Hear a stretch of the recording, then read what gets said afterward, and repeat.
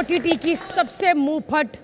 लड़की यानी कि जो बिग बॉस ओटीटी की विनर थी बड़ी बड़ी बातें मत करो भारती प्लीज बड़ा डर लग रहा है इधर सच्ची बता रही हूँ चलिए अपना ओटीटी का बदला लेने आए हैं प्रतीक सहजपाल